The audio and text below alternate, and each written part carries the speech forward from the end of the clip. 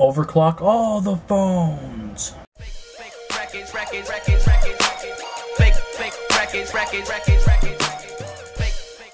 What's up guys, I'm going to be showing you the ElementalX custom kernel for the HTC One.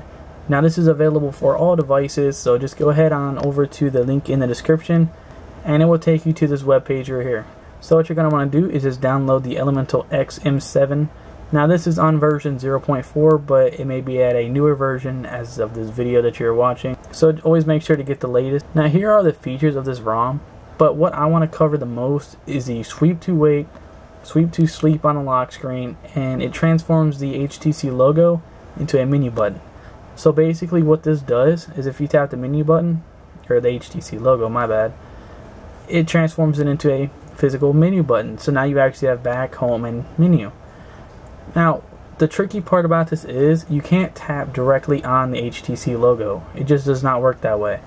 So if I bring this in a little bit closer for you guys, you see if I tap directly on it, it doesn't do anything. You gotta tap a little bit above that. Now, it depends on how you tap this, if it works just right. It's kind of hit or miss, but it's still a pretty neat feature. So the next feature of this ROM is the sweep to wake. So basically what you're going to want to do is put your finger on the back button and sweep over to the home button.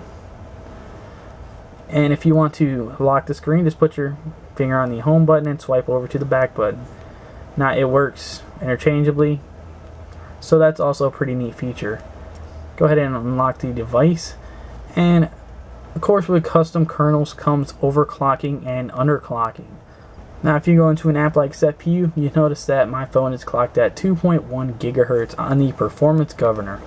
Now I have been running my phone like this for about 4 hours with no issues whatsoever. The phone does get a little hot if you're gaming, but that's normal actually, it does that anyways.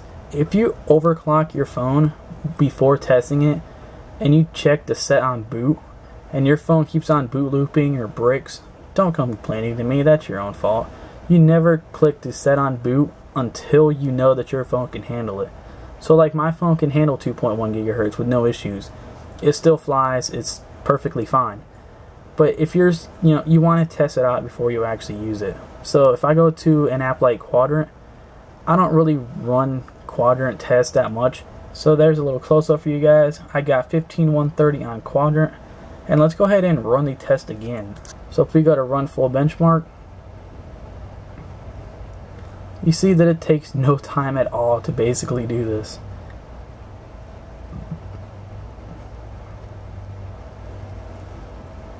Averaging about 59, 61 frames per second, 63, 64. So it's averaging about 60 frames per second, which is normal. Going to the planet, 61 frames per second. Going to the DNA, and it's averaging, averaging around 45 seconds. And we're going to hit yes. So my device scored 15085. So that's amazing. 15,000 on Quadrant. That blows the Galaxy S4 out of the water, even though it is overclocked to 1.9 gigahertz on stock.